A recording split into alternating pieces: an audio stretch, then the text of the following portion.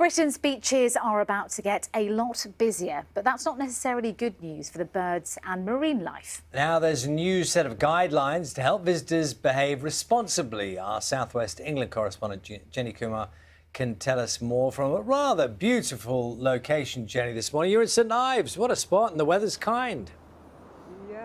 It's looking glorious, and the forecast is more fine weather over the bank holiday and into the half term. Expected to be really busy here, and it's that interaction between the people that come here and the local marine life that's the focus of this wildlife code.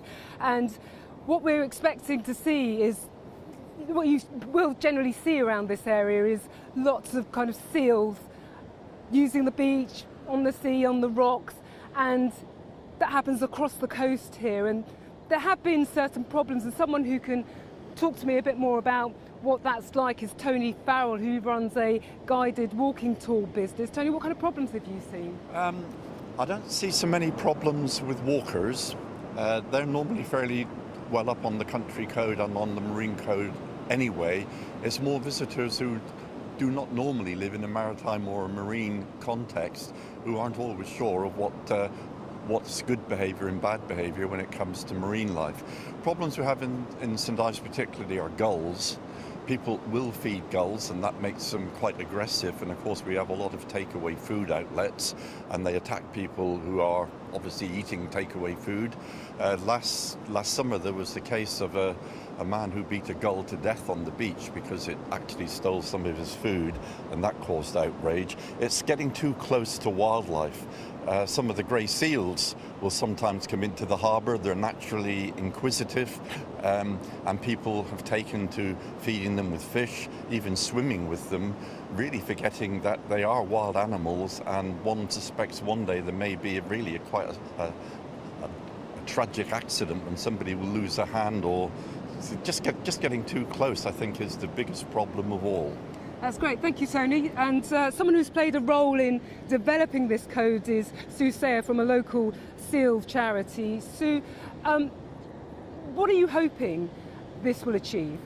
So we know from our data at the Seal Research Trust that seals are disturbed 68% of the time when people are present. So we also know that the solutions are very simple and the messages are about being quiet, slow, keeping a low profile and being distant over 100 metres away. So we welcome this code hugely. It's a great code. It's a single hymn sheet for us all to sing off and have, you know, a reference document for. And, uh, you know, it'll enable us to actually see the best views of wildlife, which are them doing natural wild things. It's a very friendly code and we really welcome it a lot.